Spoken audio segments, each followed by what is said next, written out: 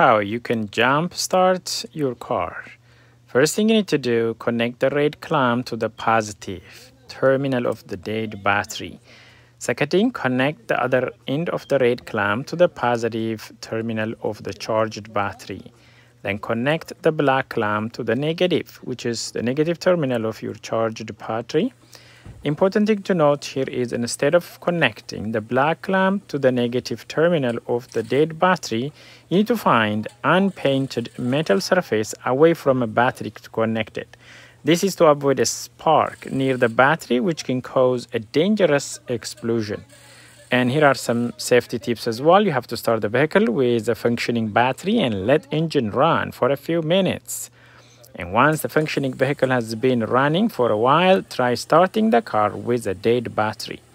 And always make sure you disconnect the jump start cable once everything is done. Thank you.